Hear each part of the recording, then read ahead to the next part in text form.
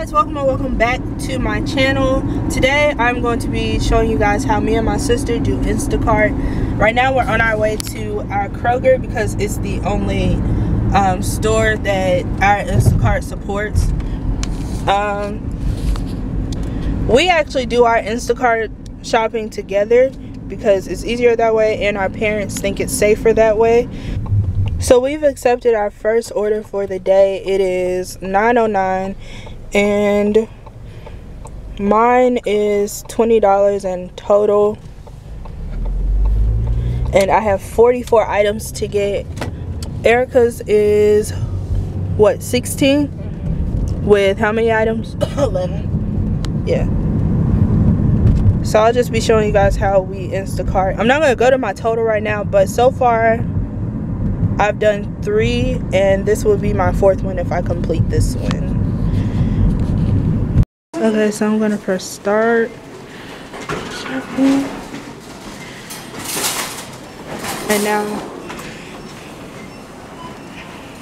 and now my list of stuff is gonna pop up right now. Okay, so it is later in the day, and this is actually like my fourth batch. Um, it's like six o'clock, but this isn't supposed to be a tutorial video. Anyway, I just wanted to show you how much I've made, but by doing this for like two days. So right now I'm in the middle of a batch, and I'm trying to find this.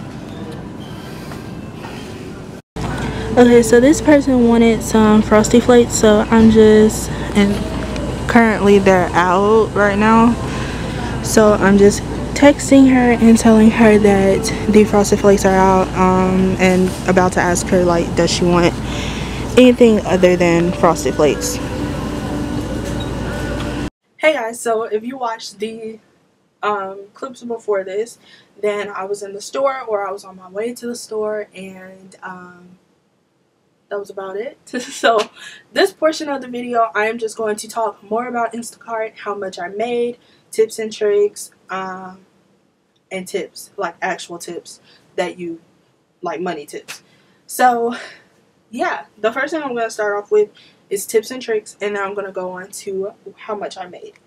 So my first tip is to sanitize because we are in the middle of the coronavirus, this pandemic. So make sure you sanitize and wear your mask. I have a cloth mask. I am also selling cloth mask on my Etsy. Link is in the description. So if you want a cloth mask, handmade or sewn on the machine, just purchase on my Etsy account. So yeah, that's the first tip. Sanitize everything. The second tip is to look over your batch. Okay, as soon as you get a batch, um, as soon as you like tap the the thing that comes up when you first see the batch, you can scroll down and you'll see. Hello? Okay, I don't know where I was at, but I'm just gonna roll with it. Um, so like I said, as you as you accept a batch, you can tell where the um what items they got. So I don't do that. I just look at the total and then I accept it. If it's above if it's above ten dollars and I'm just starting out throughout the day getting batches, I do it. If it's lower than ten, like there was one I think yesterday, today's Sunday, so Saturday, that I accepted that was like nine dollars, I think. Um, so usually if it's above um, 10 I accept it and then I look at the batch when it says start shopping and I'm already in the store I look over it and then I just start getting the stuff that's another thing about batches I please please please accept a batch if you're in a small town and there's a lot of Instacart shoppers accept the batch immediately. I have missed out on a $30 batch. I have missed out on a $24 batch for the simple fact that I did not go ahead and accept the batch when it was available.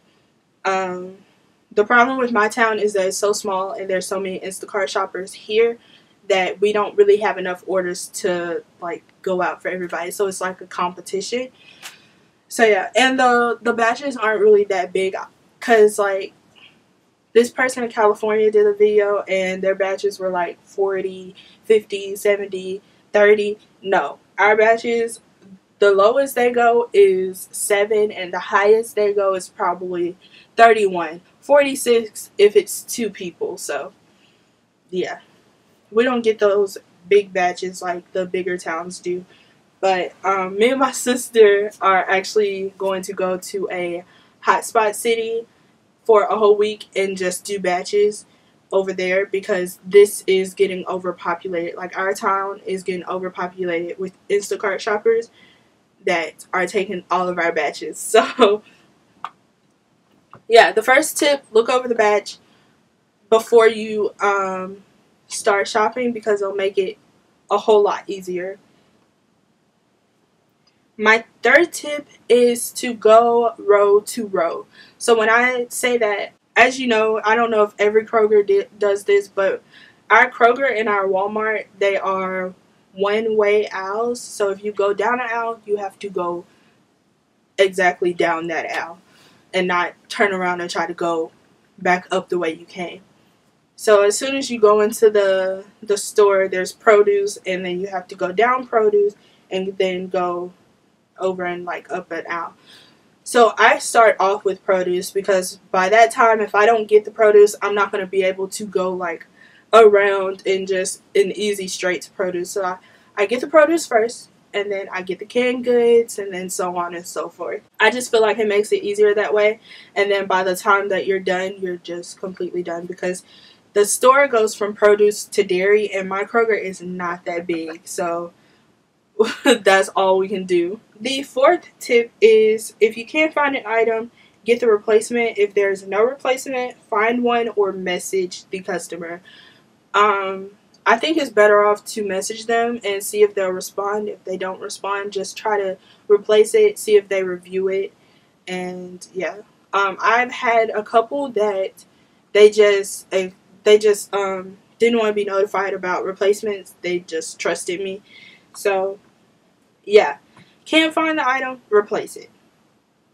And that's one of the questions you get when you're signing up for Instacart anyway. So if you don't do that, that's on you. The fifth one is to always try to keep in good contact with customer.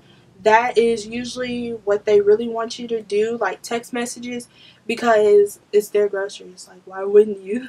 If I have, if I actually did Instacart, like got a, a Instacart shopper to do my grocery shopping for me, that's what I would want them to do. Like keep in contact with me at all times so that if I if you replace an item, I know what you're re- replacing and all of that stuff. The sixth one is to try not to take long in one spot. You are being timed on the app to see how long you take with um, marking an item found each time. So just try not to take long in one spot. I usually, if I skim through it, I know my Kroger very well. So if I can't find it, I'm just going to try my best to, you know, move on. The seventh one is to get ice cream or frozen things last. I don't go by this, but this is a very good tip. And I thought it'll help you guys if you have an if you have a store that is not like one way only, you can do this. But I feel like this is the best way for me since right now our Kroger and our Walmart is one way only. I'm saying Walmart, but I don't think Instacart shops with Walmart because they have their own like um, pickup. But anyway, try not to take long in one spot. Get ice cream or frozen things last. Hold on to your receipt. As soon as you check out, you're gonna have two barcodes to scan, and then once that happens and you have completed scanning everything, you swipe your card and then you go to the next step and it's going to tell you to hold on to the receipt. So I keep like a small little purse or whatever that um, it's like a pocket thing that I keep and it has all the receipts from Instacart in that one pouch. The customer gets a digital receipt anyway online on the app, so that doesn't really matter. But just for your safety, keep the receipt. And last but not least, follow delivery instructions. If there are none, leave at the front door and take pictures. Once you deliver it and you're about to mark it, um, mark the delivery complete, it will say that you handed it to the customer or you left it at the door. Those, I think, those are your only two options. And usually, if you left it at the door, they Instacart automatically makes you take a picture of it so that they can have it and you know, it's basically just covering you yourself.